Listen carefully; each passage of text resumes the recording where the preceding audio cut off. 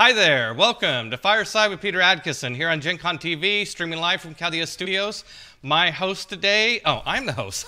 My host today is Peter Adkison. I'm Peter Adkison. My co host is Emma Larkins, and our guest today is Ryan Dancey. As you know, on this show, we go in search of the untold stories behind your favorite games, and we are covering Dungeons and Dragons now.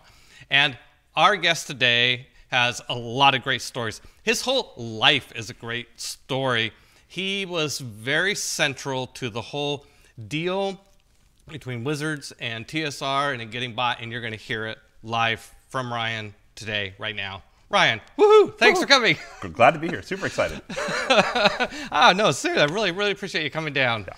yeah. So, um, I always like to start with a little bit of like, who were you before Wizards of the Coast? Before I almost said Magic the Gathering, but yeah, before Magic the Gathering. Hmm. Um, I mean, I remember. I think I met you at DreamCon Yep. in what 1993. Yeah, just before Magic, probably 92 or 93. 92 yeah. before Yeah, Magic. yeah. Yeah, yeah. Yeah, we knew each other before Magic because we you were you were going around to local conventions selling Primal Order. Yes, I was. Yes, Wizards of the Coast first product. That's right. Yep, Primal Order. Everybody in Washington State had a copy. yes, yes, and both my friends. It was the new hotness. yes, the new hotness. Uh, yes, um, uh, yeah. So I, I I met you there, and you had an ISP company. Is that right? Tell Yep. us. A, Yeah, what- I uh, I was fortunate enough to co-found one of the first regional internet service providers in the nation. Uh, kind of on accident. A lot of my life is like we started off to do one thing, and then an accident occurred, and then and that Right. turned out to be great. Uh, so yeah, we uh, we formed a company called Isomedia, and it was a regional ISP, and that kind of got us our fingers into a whole bunch of pies, just kind of helping people move big files around and connectivity and that kind of wild west stage, early '90s when you know the internet was something people didn't really understand. yeah. Yeah, we- I, I'm trying to remember, like, what was an ISP? This Yeah. was before you just plugged into the Internet- universal. Yeah, that's right. Service Yeah. provider. Internet. Yeah, Internet you- service provider. Yeah, right? that's right. Yeah, you had to pay somebody to on your modem call up to connect to get on the internet. Right, Yeah, right. That's right. Yeah. Yeah, yeah, yeah. And then that somehow you got into mail order through Yeah. that, right? Yeah, we uh, at the time I was uh, I had a small child at home, and Yeah. we wanted to restart our D and D campaign because that's something you can do when you have a baby. Like baby Right. sits in the crib, everybody plays D and D, um, and we were really poor, and we didn't want to pay full price for our products, our you know our gaming products, because we had basically had to rebuy all our libraries. Everything had gotten lost or misplaced down through the years. And we formed a fake mail order company um, so we could pay wholesale prices. And, uh, and it turned out that there was a need for that company, and we started to get a lot of orders. And um, our fake mail order company turned out to be a real, which has nothing to do with providing internet service to anybody. Right. Um, uh, uh, yeah. yeah. so, so it was all on the up and up retroactively. That's right. In, in the end, it all worked out great. Yeah, Right, that's right, right. There was right, a, a local distributor here who I have very fond memories of, who kind of looked at us and thought, "I don't know what this is, but it's probably harmless," and Right. and it all worked out really well. Right, Yeah. right. So somehow you got from there into. Uh, I mean, I kind of I knew you. You were out there. I I'd always had a great impression of you. There was a part of me that always was hoping that uh, we would work together Yeah. somehow, somewhere, sometime. Yep. Uh, but you ended up working with John Zinser, Yep. our good friend uh, who runs AEG. Yeah, that's right. Yeah. We, um, through a, a whole series of events that are probably outside the scope of this conversation, we ended up publishing a trading card game called Legend of the Five Rings, uh, L5R. And uh, that game was a, a door that opened to the whole world of hobby gaming for me. John was already there. He was publishing a thing called Shadis Magazine. Right. And uh, in the process of making that game and then making a company to publish that game called Five Rings Publishing Group, we hired a guy named Bob Abramowitz, who weirdly, coincidentally, had worked for TSR as like a 20 year old, and he Right. knew the owner of TSR. Yeah, but before we get to that, Yes. he, you hired him to help you raise Raise money. money. That's right, yeah. To do Legend of the Five Rings. Yep. To, pu- to mm. publish L5R. Yeah, that's right. Yeah, we, Right. we managed to publish the first print run of L5R on on the backs of you know friends and family money. Um, Yes, yes. My parents mortgaged their house, Oh, so we could publish that game. Uh, and one of my business partners at the time, uh, Bruce, he uh, cashed in a bunch of stock in Costco, and uh, you know we got her done. Um, but it was it was uh, I, f- fam- famously um, I, I am known to have been under my desk at certain points with my head in the in the waste can, like the stress level. I wasn't always gray haired. Like, the stress level was very high. Um, Yeah. But we got the first print run done, and we needed to raise more capital. Uh, you know, trading card games are a very Expensive. capital intensive business. It costs a lot of money to print, and you have to pay up front. Um, and yeah, so we we had tried to raise cash, and we just were having a really hard time. And we, through very series of connections, we met this guy named Bob. And Bob, well connected in the Seattle area, knew a lot of people with uh, money to invest, and he he made it happen. He was a rainmaker. So, So he went out and helped you raise uh, yeah, a he bunch raised of money. three quarters of a million dollars. Uh, was the initial investment. I mean, that's that's good money Oh, yeah. for um, a hobby game and a bunch of company. dudes I mean, who've never, yeah, like, right. no track record, nothing Yeah. we could point. No, not not today. You or I could probably go raise money, but boy, then there's nothing, right? Uh-huh. I, I knew have a anything. saying: "There's no such thing as easy money." Yeah, I, that's I right. know you. Know, you probably meet the same guys. I meet CEOs who entrepreneurs who say, "Yeah, I never spend more than a week raising Oh. you know, money," and they're like, "Boy, it was never like that for me." No, me neither. Yeah, it's Yeah, it's I have a lot of It's- skills. That turns out to not be one of them. It's hard. It's, it's- it's really hard. Yeah. Super hard. Yeah. Okay, so um, so how did, how did that go after? The, how- how did that? How, how far did that seven hundred fifty thousand dollars take you? Yeah, well, it didn't take us very far. So, um, so we had a very aggressive plan, and our plan was to have Peter buy our company. So, what what we Which wanted, I, I knew nothing about this plan, of what, course. what we wanted to do was we wanted to make a series of trading card games that were loosely using the same model that Legend of the Five Rings used. They were factionalized. They would have stories. So we, we kind of thought we'd solved for for that CCG segment, right? We could replicate it. So the idea was we're going to make a bunch of these games really quickly. We're going to grow them all to be about the same size as L5R. We're going to be such an attractive acquisition target that Wizards is just going to say we have to, you know, we have to have you. Hmm. It's And- so weird to hear that, that our strategy, To hear my name attached to another company's right. strategy like that. It's Well, so- look, so it's much better to, to have me say, and we wanted you to buy us rather than, me to be saying, and we figured out a way to screw Wizards, and we were going to buy them. Right, we- it was not that way. Right. Um, right. So, uh, so Bob, uh, um, so Bob famously told John and I, I am going to run this company at the cliff as fast as I can. And your job is to figure out how to build wings before we die. like he was super aggressive and wanted to move very quickly. And that was the right strategy, right? I mean, I think given that time and that environment. And so we just put the pedal down and ran at that cliff. Meanwhile, John and I are, you know, trying to make stuff happen. So I was responsible for the product design. So I had all these teams building games. John was doing sales and marketing. So he was traveling the country, talking to distributors and retailers. And every day that, you know, that cliff got closer and closer. And um, we went to the GAMA Trade Show in 1996, which was in Reno. And that was a bad year for the gaming industry. A lot of small publishers had failed or were failing. Hmm. Mm-hmm. And this weird thing happened. TSR, which had not missed a print deadline, they hadn't failed to produce a product on time in a long time. They were famous for hitting schedules. They were like hmm. they were, they were well known for they that. were yeah. a clock. They missed a bunch of print deadlines. And there were people at that show walking around with black armbands to, you know, commiserate about the death of the gaming industry. Um, and that was, I think, when people really got their inkling that there was a real problem. Like TSR was not a healthy company at that point. So TSR, publishers of Dungeons and Dragons, Yep. uh, obvious to most people, but you never know. Um, so Right. how, how how does this link? How does this lead from disa- near disaster, pending disaster, That's right. To opportunity? Well, as you know, Peter, sometimes in business, when you're about to fail, the best strategy is to try to get even bigger. So, Yes. so Yes. Bob's idea was, uh, well, if TSR is has some kind of problem, then they need help. Right. And the idea of packaging TSR and Five Rings Publishing together and selling that as a new deal in the Seattle investment community wasn't that bad an idea. We could take our company, which was worth X, and say, well, now it's worth, you know, 10X, right? uh, because we've created this opportunity to buy Yeah. this really valuable asset. When you pitch it to Peter, obviously. That, well, that, Where that Peter has no idea. that's coming very soon, um, and and clearly that was in the back of our minds from the beginning. Uh, Peter uh, has, has been in the role playing game milieu for his whole you know creative life, um, and Wizards of the Coast at the time was the most successful company in hobby gaming, and uh, it was it didn't take a brain surgeon to figure out there would be synergy, right?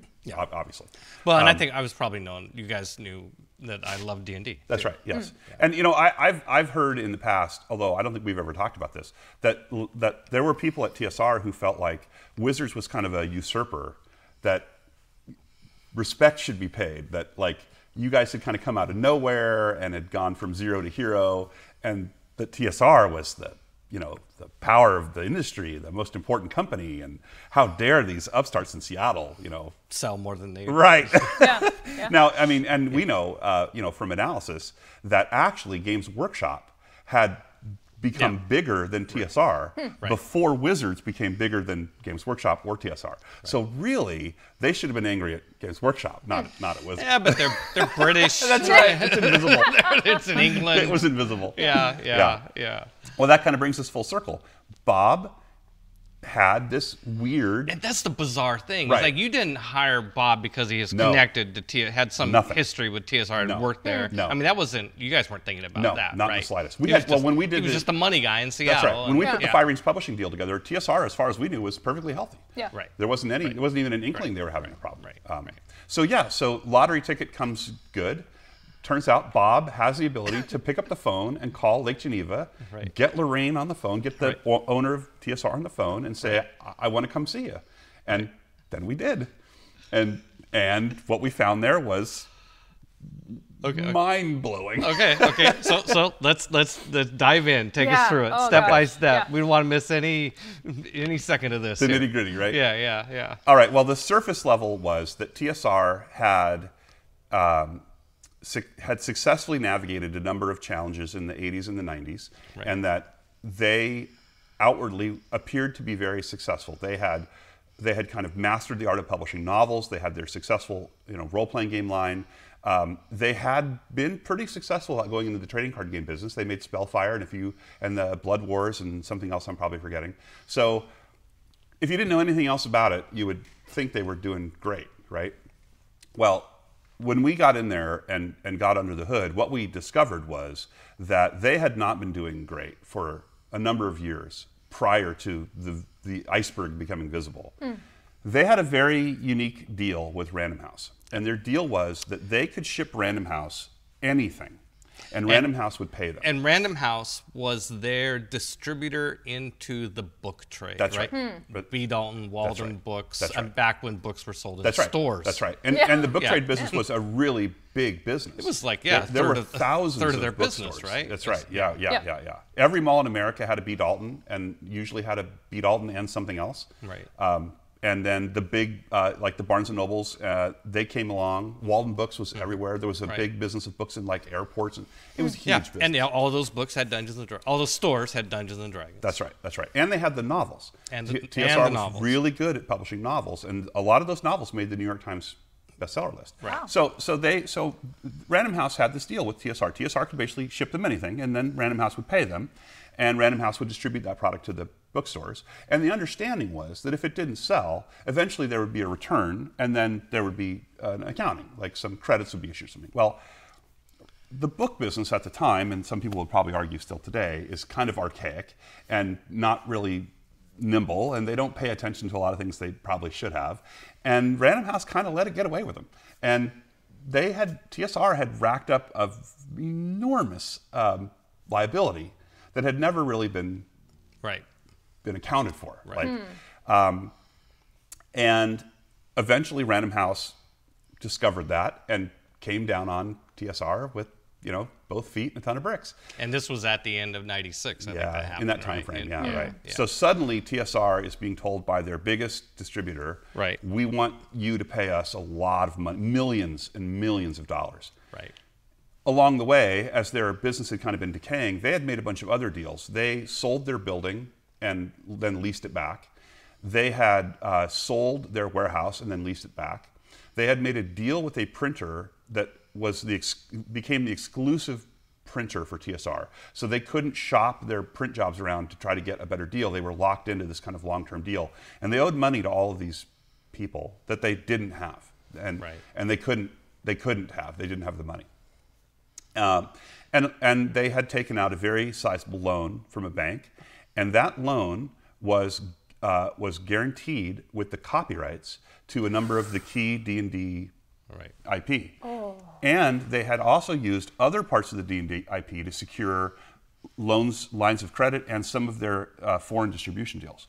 So one of the things that we found is that if TSR had been forced into bankruptcy, in a bankruptcy court, those creditors would have claimed those copyrights and trademarks. Oh. And it wouldn't have been like one company had it all. It would have been some over here and some over here and some over here. And so putting that egg back together again after it had been scrambled would have been really hard. Yeah. Like hard to the point where it might not have been possible to publish Dungeons and Dragons without Right. years of litigation and deal making and and of course all of these people probably would believe that they had the best part of it so they would want a premium price Right. Mm-hmm. Th- these are the things that happen sometimes in a complicated financial meltdown Yeah. Right.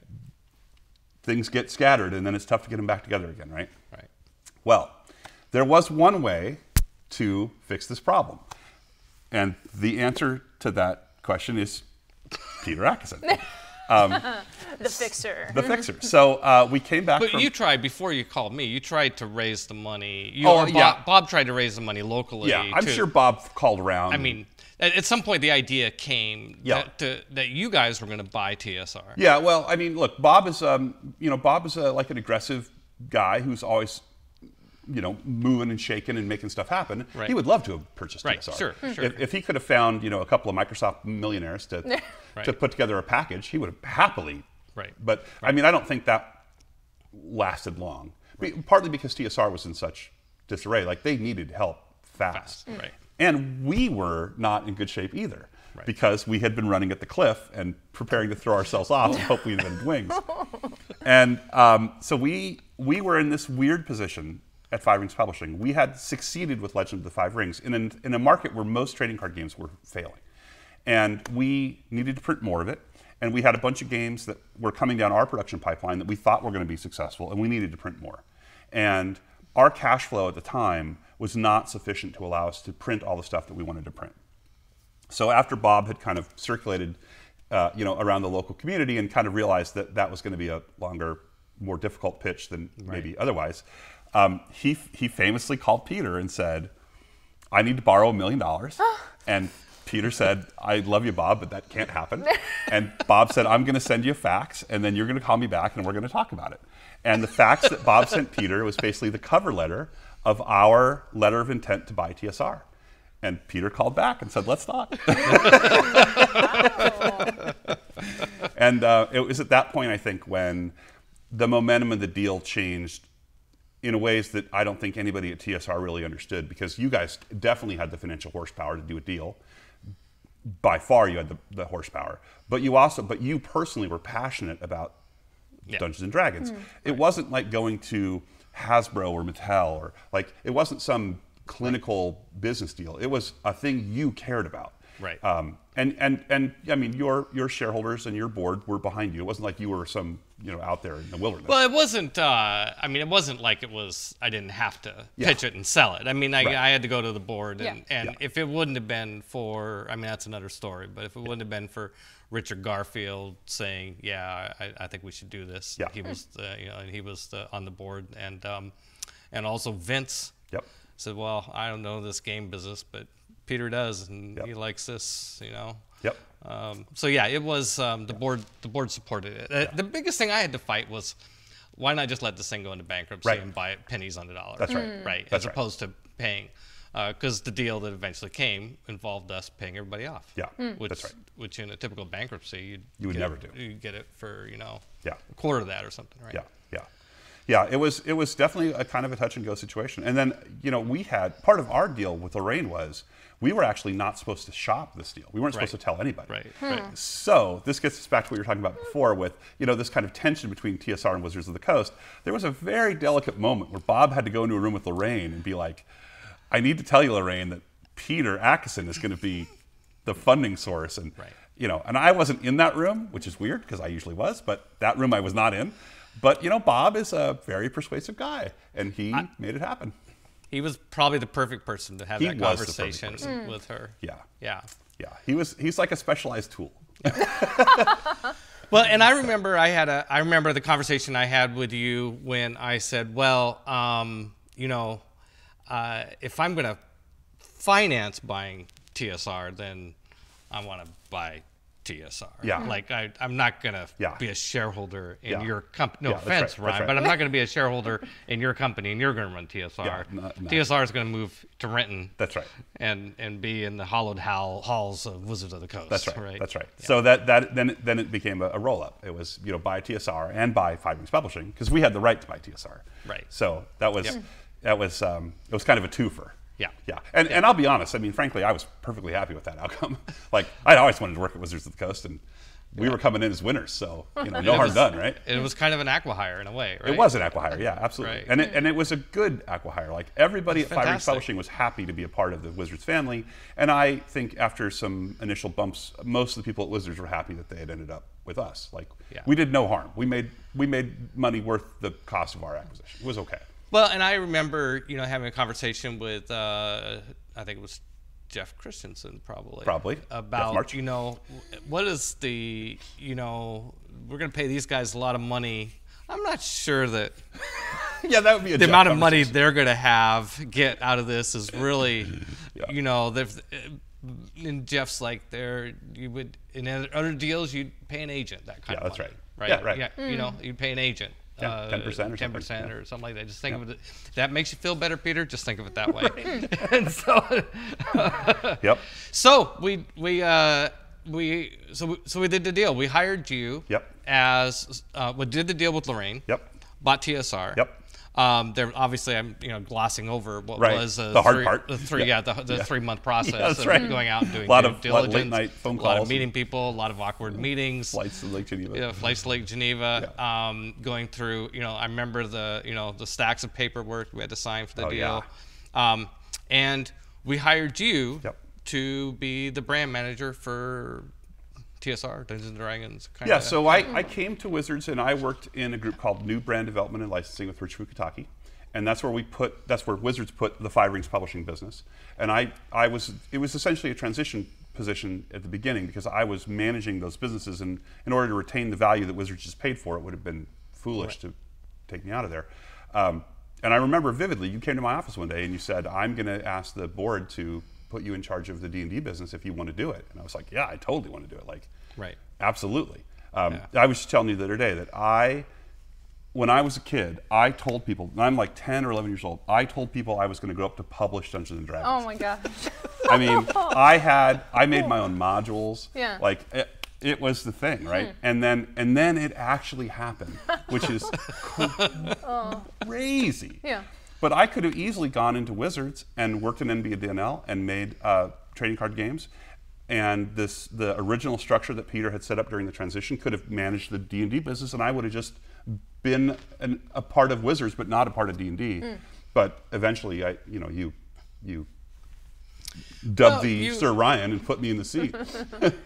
Well, you know, I, I it, it's a unique business. Yeah. First of all, and you'd studied it. yeah, Um, you'd studied it as someone who wanted to buy it. Yeah. Uh, you'd studied, you'd analyzed it as the type of and the type of analysis you'd want a business manager to do, and you knew what the problems were. Yeah. I mean, we, of course, we were confident that this business had value, Yeah. but it was heavily in debt. So, Yep. okay, well, write a bunch of checks and get the debt off the books, Right. and then finance operations. How do we really make this into a company? And um, yeah.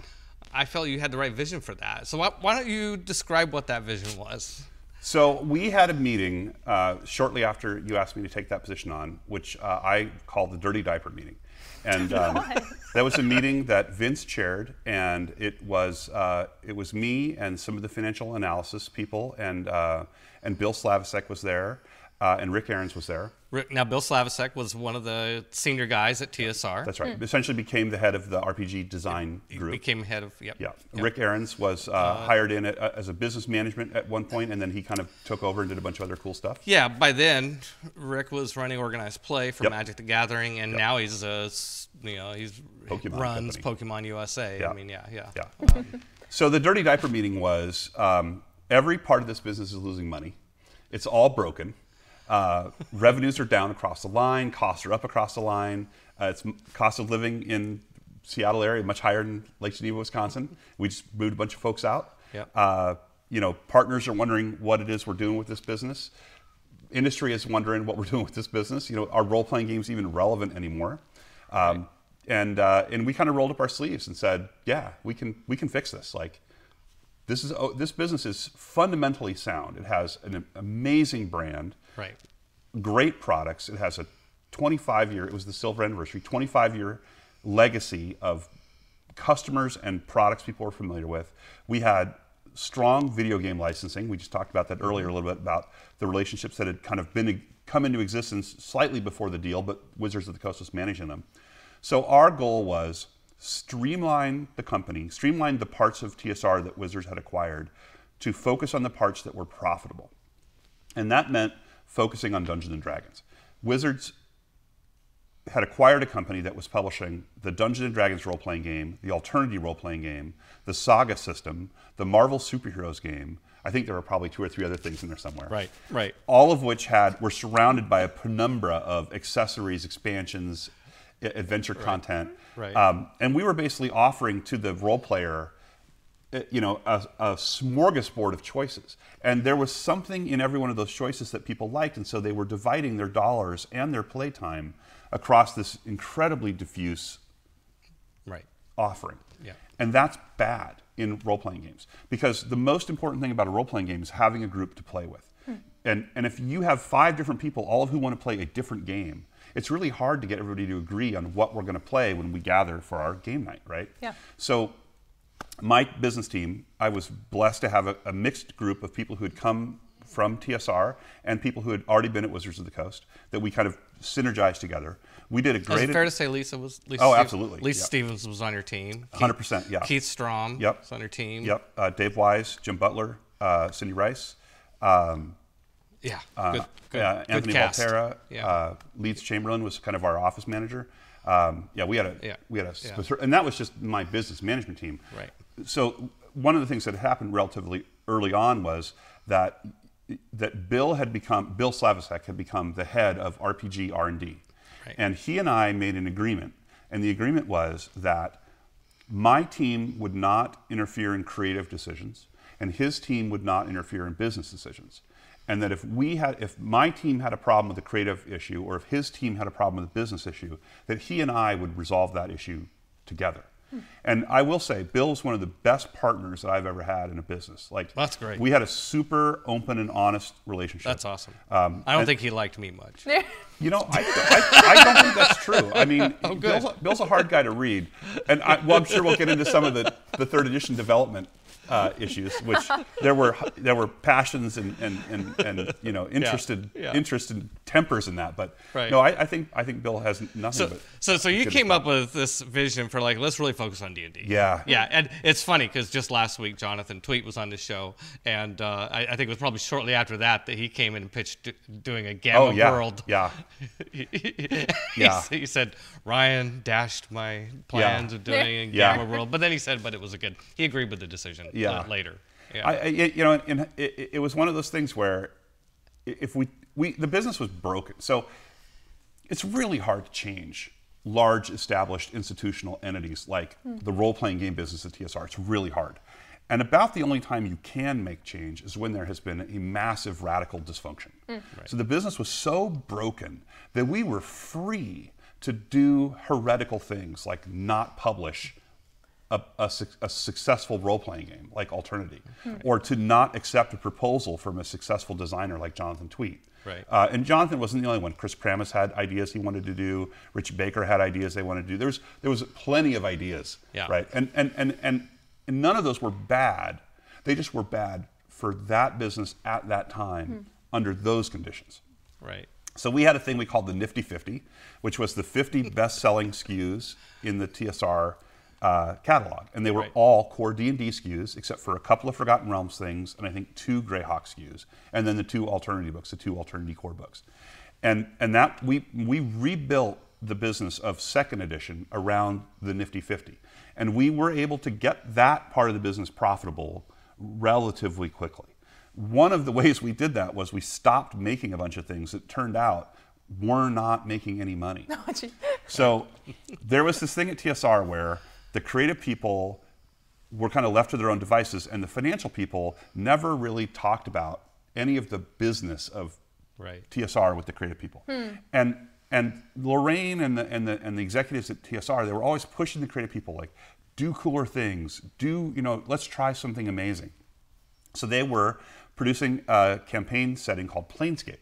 Right. And Planescape was beautifully produced. Yep. It used a special printing technique, so the paper, the, the pages of the books had like uh, metallic inks on them, um, a lot of full color maps and arts and inserts. Especially for its time, Oh, which yeah. was 95 Absolutely or beautiful. like that. Right. Yeah, Yeah, Brom, kind of- Brom did the art. Yeah, a lot of that stuff, I mean, this all happened before the acquisition. That's but, right. But kind of recently to the acquisition. Yeah, acquisition. that's right, right. And that game, that game lost, I think, three dollars every time we sold a copy of it. What? The, the core box, like so, like it's a pretty easy to say, just don't make that anymore. like Right. we need, you know, we need to fix this business. Yeah. Let's just stop making the things that are losing money. Um, but you know, every time you do that, there's a plus and a minus. So there were people who loved that Yeah. campaign setting. Yeah, Yeah. yeah, yeah. I was gonna ask. Uh, like, it's obviously a very good business decision, but was Yeah. there any feedback from Yeah. the fans, from the people? What was the reaction Yeah. when you started doing this? Well, Moral outrage. yeah.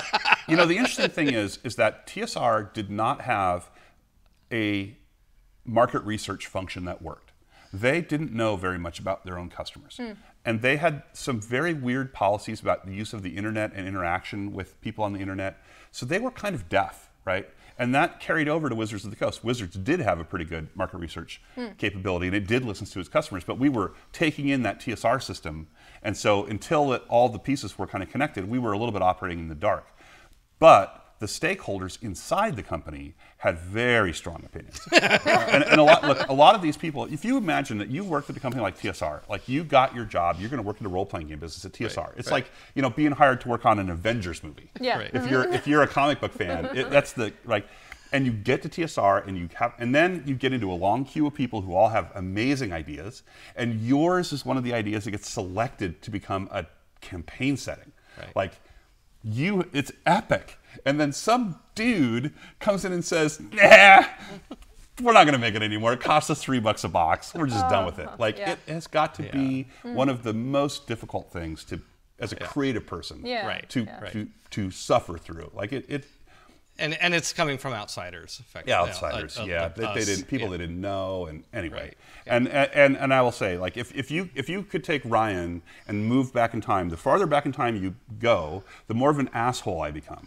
So, like, I was young and I was very arrogant, and I I was a difficult person to be around, and they had to put up with that. But okay, so yes, there was there were definitely there were there was pushback. But at the end of the day, look, we had a job to do. That was to make that business function.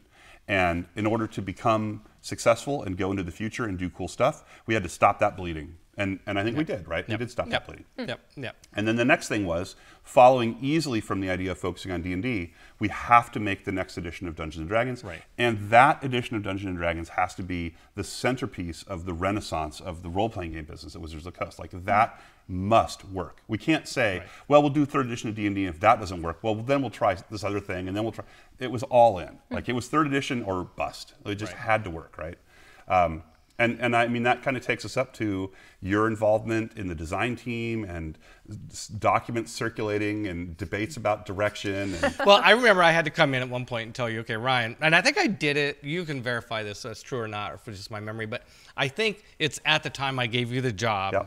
I said, listen, you want to run D and D? Great. I got to tell you up front, I'm running. Third, I'm running the design of third edition. Yep, Yep. yep. Yep. Uh, so you, you're running D and D, but this very important part. I want all these designers reporting directly to me, Yep. and we're going to work on Yep. on that. So it had to have been a little nerve wracking to be in charge of this business, realizing what you just said about how important third edition would be, and not having any authority, and Bill Slavicsek not really having any Yep. authority. Neither one of you having real authority over it. right. Um, all those guys technically reported to Bill, but in the context of the design group, they reported to me. and, you know, down the hall was Mary Kirchoff, who's running the book business, which also had the magazine business. Right. And she's a strong willed, independent woman, and she wasn't real interested in having me be her boss, and I wasn't her boss. Right. Um, so, and the book business was critical to D&D, so that had to be managed. Um, and then the convention business was being run by Susan Scheid, Mm-hmm. and that was Gen Con. And you know major decisions were being made about moving that to Indianapolis. Um, so yeah, so like I had to be my role in all of this was to be um, the person who figured out how to make a strategy and then other people to follow that strategy, as opposed to telling people this is what the strategy is and you must obey. Like it was, I had to be very diplomatic and I had to figure out who needed to approve what and you know like how far could I push certain things. And I mean, there was probably certain areas of my authority that I never tested. Like there were things I probably could have done that I, I felt like if I did them, it would be catastrophically bad. I mean, there's certainly some things with Gen Con, for example. I probably could have gone in and banged my fist on the table, and who knows what would have happened. And with Dragon Magazine, I remember vividly we had a conversation at one point. Uh, an issue of Dragon Magazine had come out, and there was a piece of cover art on it.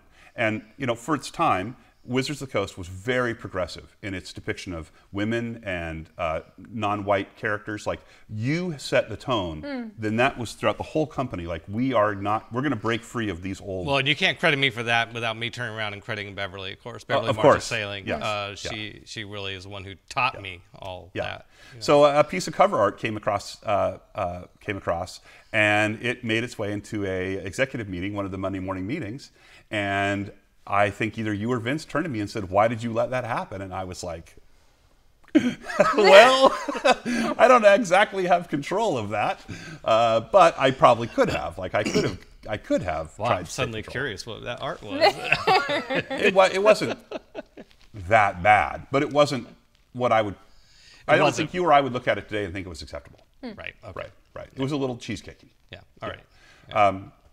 And then, um, and then we we had confidence in your third edition development group because we were in that loop.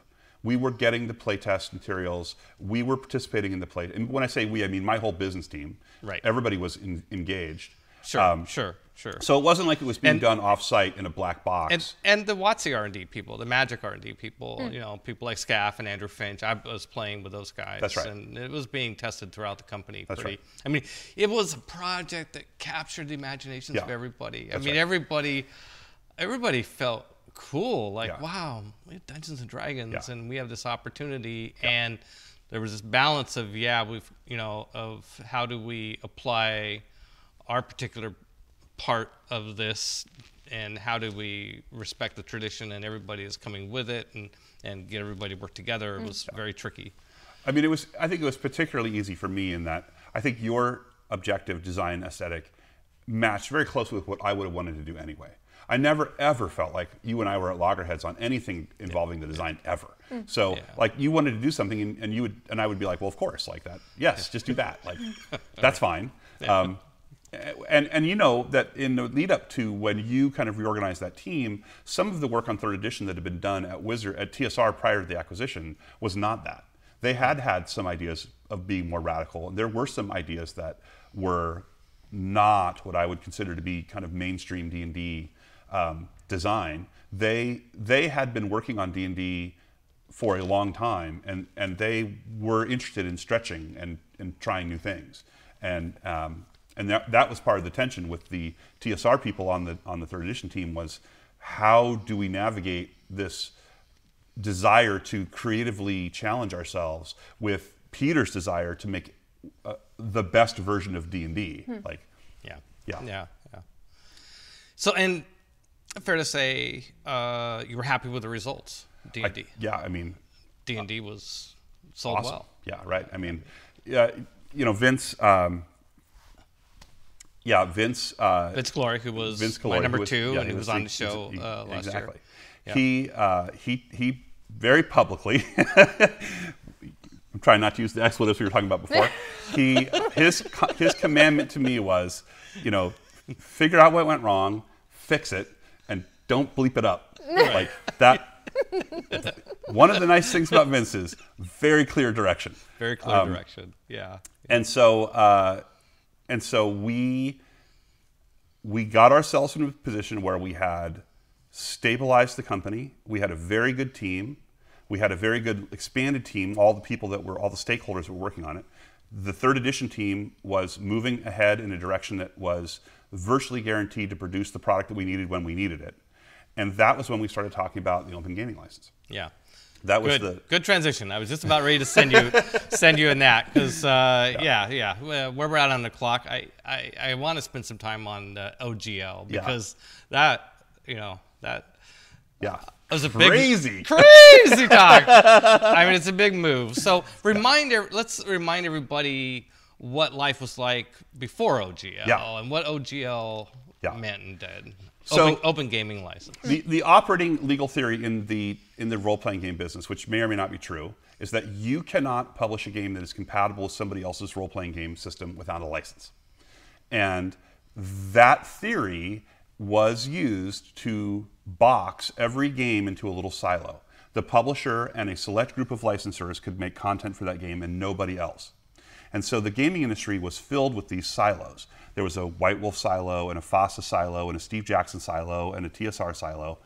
And as the total number of people that were playing role playing games was shrinking, those silos were segmenting the audience into groups of people that were becoming disconnected.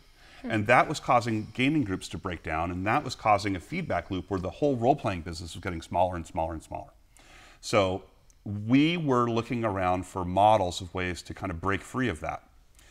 Uh, Wizards had had a pioneering effort in that direction very early on, back in the Primal Order days, uh, called uh, Paragon Envoy. Envoy, yes. Well, and Primal Order itself, to be fair. That's right, which was a cap system, We- a game that was we- designed to be used with many, Yes. right? Yes. And, Um, and we got sued for it. And we got sued. Yes. That's, that's a gold sticker on the back of my copy of Primal Order. Yes, yes, Anyway. yes. It was compatible with 20 different R's. That's RP, right. You know, yeah, every, MERPs, uh, you know, Rolemaster, Yep. Ars Magica, all sorts of systems. Yep. Yeah. So, so okay, so our thought was We're lucky. What we, if- We're lucky we only got sued once. That's, yeah, right, exactly, right, right. Oh, God. Anyway, sorry. Uh, So our thought was, what if we created an environment where anybody who wanted to could make content for the new edition of Dungeons and Dragons, Right. But we just wouldn't let them call what they were making Dungeons and Dragons.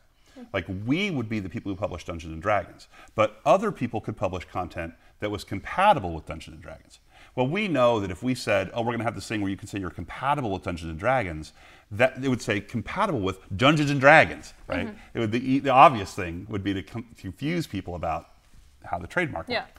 So, in addition to the idea of the open gaming license, which was the legal mechanism to let people make stuff compatible, and I just want to emphasize, before this, you couldn't publish could. Dungeons and Dragons You would be material. sued. There, yeah, there were people that kind of skirted the edges, like Judges Guild stuff right. and so Some- on. But the roll but aids the- basically, you, Yeah. you couldn't do it. yeah, you certainly couldn't raise money to do it because Yeah. no investor would accept Right. the risk that Right. you would vanish in a puff of litigation, right? Right. Um, so we created a intermediate brand, the D20 system trademark. D20. And we put the D20 system trademark on all the D&D books, and then we created a license that let publishers use the D20 system trademark on their products.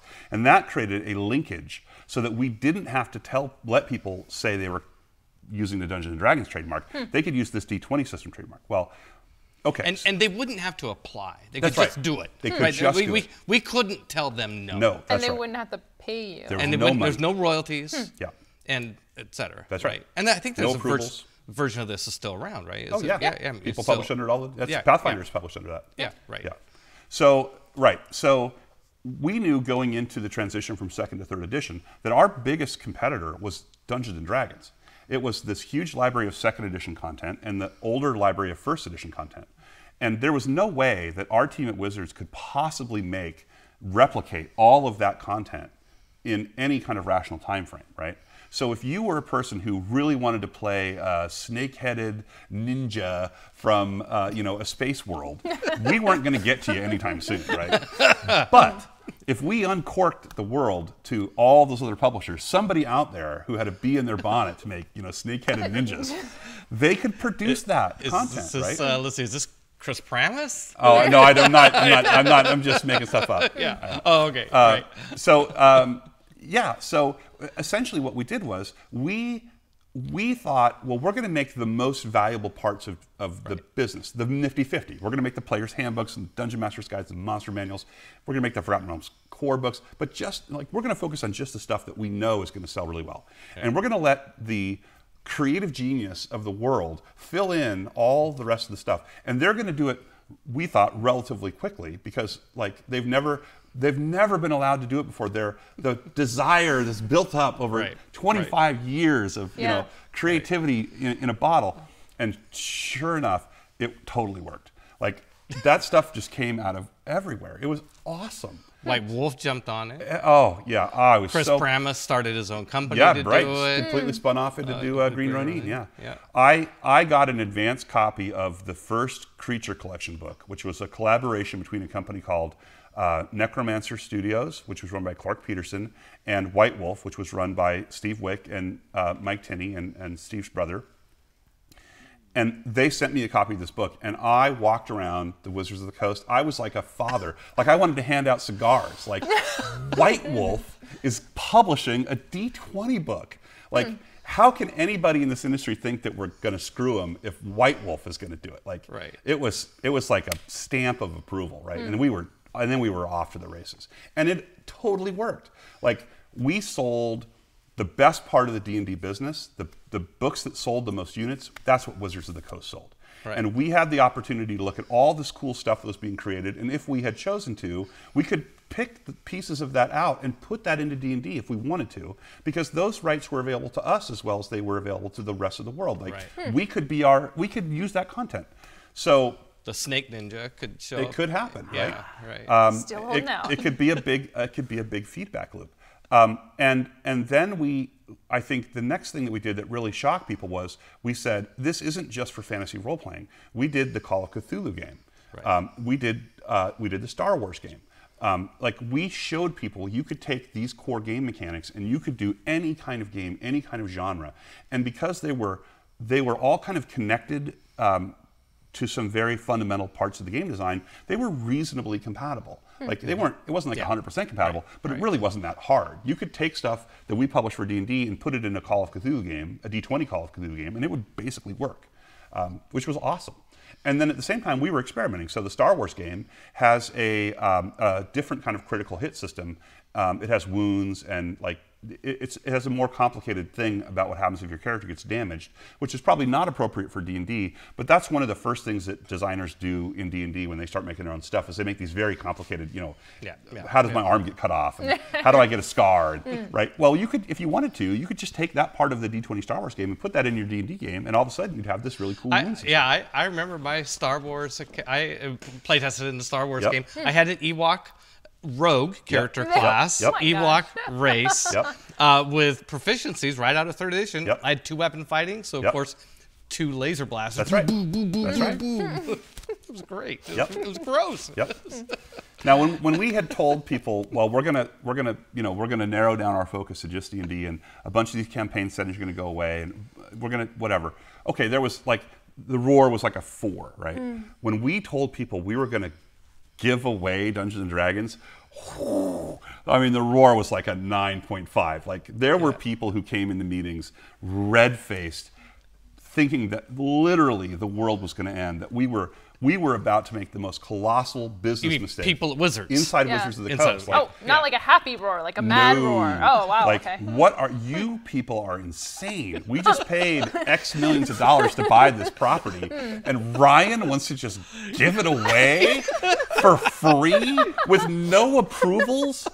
I mean, Hmm. But uh, you had, to, but I liked the idea. Well, that- we were golden and, s- because of but that. I mean, but also, but I relied on people like Skaff and Richard, who hmm. were must have been uh, excited about it from the very beginning. You know, I we- mean, someone or Rick Aarons, he understood network externalities. That's right. I, mean, we, we joked all the time about what I called the Skaff effect, which was if you had the market share leading game in any significant game category and the total amount of activity in that category increased, you would benefit. Hmm. Like if more people were doing role playing, Dungeons and Dragons, which was the market share leading game, would benefit, right? Yeah. So there was a business rationale to say, let's just get more activity in this space and let's get that activity in games that are close enough to D&D that people's gaming groups don't get dissolved. Like Right. You could, we could play Call of Cthulhu, and then we'll play the Space Ninja game, and then we'll play D and D, and everybody can kind of follow along because we're not asking you to start over from scratch and learn a whole new game, and like, and and like I say, I mean, it totally worked, right? yeah, it worked. Yeah, I mean, Yeah. we had when we did the first print run of the Player's Handbook for third edition. Um, there was a number that the sales team had come back with, and that number was too low. And uh, Keith Strohm, who was the person who was responsible for the business part of D&D, he increased that number and didn't tell me. And then that number was too low, and I increased that number again, and we didn't tell Peter. and we sold that in a month. It was gone. Yeah. And um, I mean, it was it shocked everybody how how well third edition was selling because you could compare it to what it, second edition had been selling before we Right. released third Right. edition, right? Yeah.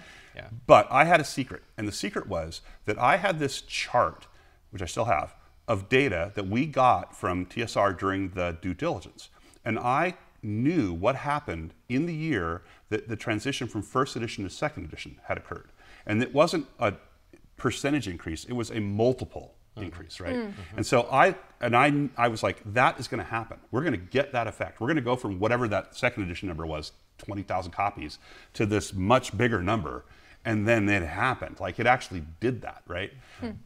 So, although I feel like the analysis was very good and my team did an amazing job of pulling all the facts and figures together, and Peter's team did a great job of building the game we needed to have, we were not as far out in, on the horizon as people might have thought we were. Like there was yeah. some reasonable basis to the decisions that we were making. Hmm. Although from the outside it looked like it was insane. Well, also, like you had mentioned, everyone at the company was players, not just excited about it now, but had been playing it for years. Like when you were seeing the splintering of the groups, you were Oh, seeing yeah. that in your own groups. absolutely So did. it was all right in your face. Yep. Everybody that worked on Magic, it started with D and D. Yeah. Yeah. I mean, Richard loved D and D. Skaff had played D and D. All these guys have played D and D. We all we all grew up playing D and D, and D and D influenced Magic the Gathering, and, Yep. and it all yeah. Yep. Um. So looking back now, Yeah. 20 years later, how long did you stay at Wizards? I left in two. I my last day at Wizards of the Coast, September 11th, 2001.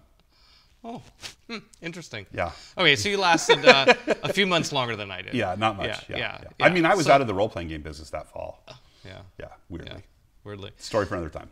So looking back 18, 19 years ago, you know, I, I don't know, I, I get goosebumps when I think about those days. Yeah. Like how, how do you how do you process it? Like now that it's 20 years later, what, what do you think of when you think back to those days now?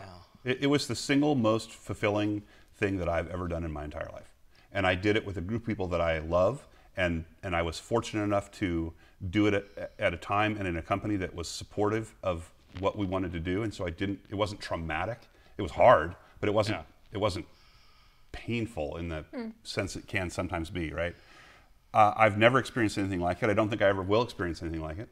Um, and I'm so fortunate to have been given that opportunity. And uh, you know, I just I'm so thankful that this whole crazy series of coincidences that had to align in just a very specific way did. Yeah. And I got to do that thing and be in that place with those people, and Well, it's amazing. Hey, You say that you were you feel so glad that you were given that opportunity. I, I hope you know how glad I feel that you gave me the opportunity too. I mean, like let's let's be real, was a huge opportunity for for me. It was a dream come true. Um, and uh, you know, I'm glad that um, I was part of your strategic plan. Yeah, So it all worked out really my, well. my name was top of That's mind. right. It's just identify the best people available and go work with them. That's the secret. It was uh, uh, what a privilege it was to um, to work on that game. Look, I, I feel like we changed the world in some ways. Like in, Yeah. in, in that in this little speck of what we do, Right, right. we found the lever and we we moved the world. And Yeah. you just don't get to say that very often. I mean, you've you've had the fortune. You did it with Magic, and you did it with D and D, and you did it with Pokemon. Like you've had that experience multiple times. Like I had the experience once.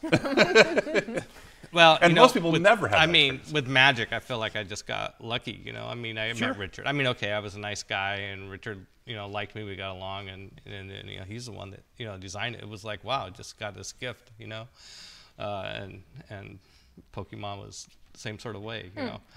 Um, but I felt a lot more connected I felt like D and D, um, and I uh, was like a chance for, for me to do something right in the sense Yeah. of, of like like I was more like yes okay let's go out and get this deal done you know Right. Let, let's go out and and and get this buy this company Yeah. and negotiate it and um, uh, convince everybody that it was good you Yeah. know certainly a lot of people thought we overpaid uh, but it was like your bankruptcy comment earlier we wanted to keep the property intact. Yeah. And that meant not buying it in bankruptcy, That's where right. you'd have where we would have paid a quarter of the price. Yeah. It meant paying the full price. Yeah.